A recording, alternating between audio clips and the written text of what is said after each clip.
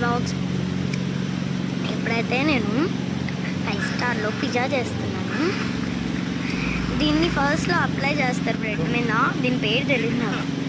దాన్ని అప్లై చేశాక వచ్చేసి దాని కింద పెట్టుకొని first cap tomato tomato light లైట్గా మొత్తం అప్లై అయ్యేట్టు చల్లాలి. చూడండి ఎంత నీట్గా తర్వాత ఆనియన్స్ చల్లేసాక కొంచెం చాలా మంది తినరు.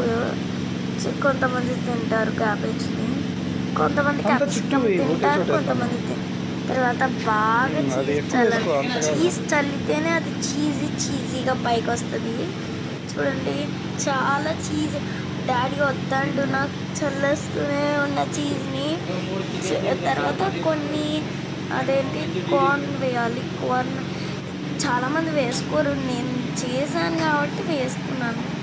తర్వాత ఇది అది బర్గర్లోకి వేస్తారు కదా దాని మయ కాల్పో దాంట్లో అయితే చికెన్ అవైలబుల్గా ఉంటుంది వెజ్ అవైలబుల్గా ఉంటుంది. ఆ రోజు అయితే మేము వెజ్ తీసుకున్నాం అన్నట్టు అయితే అదైతే హాట్గా ఇస్తారు. నేనైతే కట్ చే చిన్న చిన్న పీసెస్ చేసి వేస్తేనే నీట్గా. చూడండి పట్టుకునే కూడా కష్టం అవుతుంది పెద్ద చేతుల్లో నింపుకొని వెళ్ళిపోవచ్చు అనుకుంటే ఈ పాని పని ఇంకా. దాంట్లో కూడా వేసేయాలి. ఓవెన్లో పెట్టేటప్పుడు చాలా భయపడిపోయాను నేనైతే. ఒక్కొక్కటిగా స్ప్రెడ్ అయ్యేటట్టు వేయాలి. ఇలా స్ప్రెడ్ అయ్యాక చీజ్ ఉంటుంది కదా అది కొంచెం పన్నీర్ పన్నీర్ కొంచెం సైడ్కి తీసేసుకోవాలా. మొత్తం కట్ చేస్తే అంతేనా? మాత్రం? ఇంకా సరిపోక ఎక్కువ ఎక్కువ స్టోర్గా ఇంకా మామూలుగా అయిపోతుంది. చూడండి ఇప్పుడు పన్నీర్ ఎలా కట్ చేసుకున్నాక దా పన్నీర్ని తీసుకొని దాని మీద వేసేయాలి. ఈ పన్నీర్ కూడా చేతి దొరకట్లేదు. చూడండి వేసేస్తున్నా దాని మీద.